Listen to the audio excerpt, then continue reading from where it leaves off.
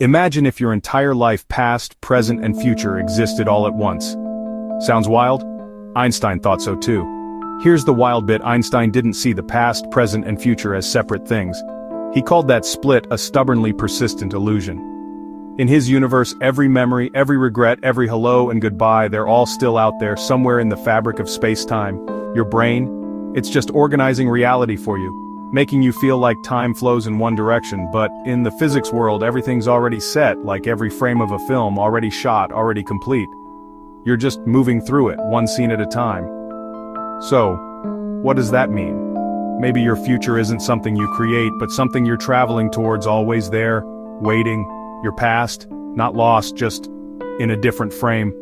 Even death might not be an ending but a shift in perspective. If time's an illusion, what about free will? What about destiny? For Einstein this wasn't just philosophy, it was physics. And once you see it, you never look at life or death the same way again.